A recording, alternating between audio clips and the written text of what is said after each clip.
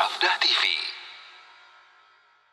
cara mengambilnya orang Nasrani, orang Yahudi itu menjadikan pendeta mereka sebagai tandingan selain Allah. Bagaimana? Ada sebuah riwayat, Pak.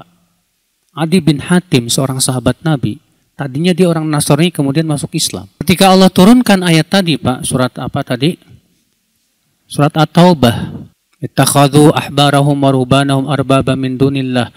Mereka mengambil rahib-rahib mereka dan ya, ulama-ulama mereka, pendeta-pendeta mereka sebagai tandingan selain Allah. Apa kata Adi, Pak, kepada Rasulullah? Ya Rasulullah, lasna na'buduhum. Ya Rasulullah, kami dulu waktu Nasrani nggak pernah beribadah kepada para pendeta. Kami dulu nggak pernah beribadah kepada para pendeta. Apa kata Rasulullah? Dengerin, Pak.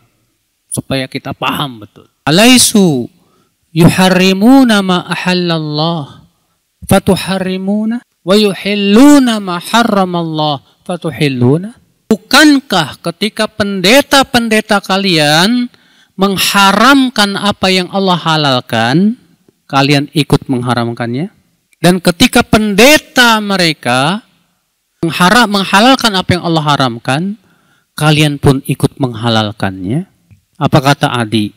Betul. Kata Rasulullah apa? Fatilka ibadatum.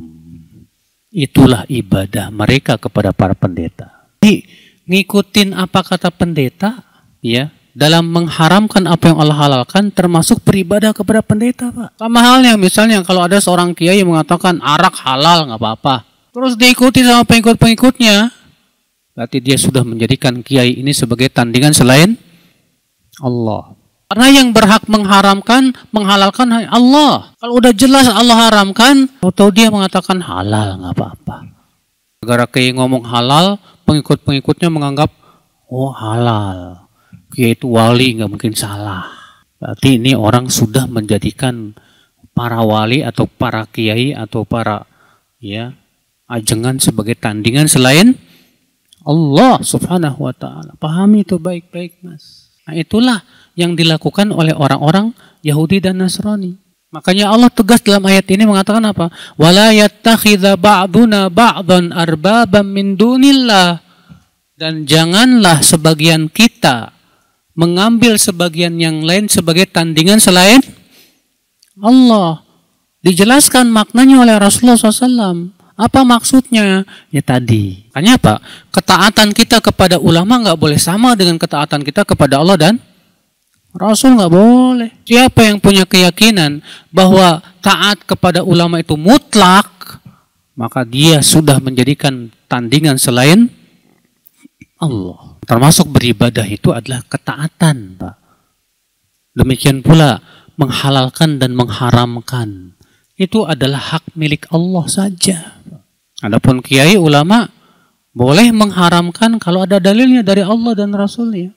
Boleh menghalalkan kalau memang jelas ada dalilnya dari Allah dan Rasulnya.